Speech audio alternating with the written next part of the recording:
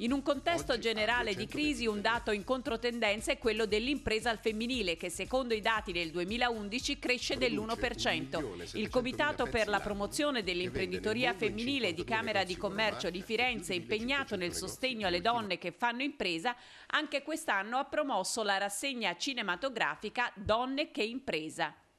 Giovedì 12 luglio saremo a presentare la seconda edizione a ingresso gratuito eh, accompagnate dall'attrice e giornalista Daniela Morozzi eh, in una eh, visione di questo splendido film di Nadine Labaki ehm, che ci accompagnerà in un percorso legato al mondo dell'imprenditoria femminile. Abbiamo deciso di fare questa seconda edizione della rassegna eh, perché la rassegna precedente è andata molto bene, abbiamo proiettato quattro film che raccontano le storie di donne imprenditrici e eh, ad ogni serata abbiamo avuto un grande riscontro di pubblico e di attenzione da parte dei media. È estremamente importante per noi come donne che imprendono nel comitato della Camera di Commercio riuscire a porre l'attenzione su questi temi e portarli fuori dalle stanze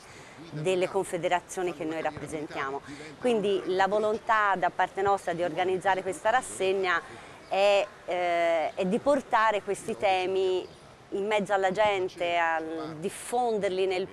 in un pubblico più vasto possibile. La rassegna è eh, fatta in collaborazione con la Mediateca regionale toscana che si è messa a disposizione dandoci questo splendido spazio e aiutandoci a selezionare dei film eh, che meglio rappresentano la condizione delle donne imprenditrici nel mondo. Quest'anno un'importante apertura l'abbiamo fatta alle donne imprenditrici straniere, tant'è che la prima serata sarà dedicata al Libano e quindi alla condizione delle donne imprenditrici libanesi.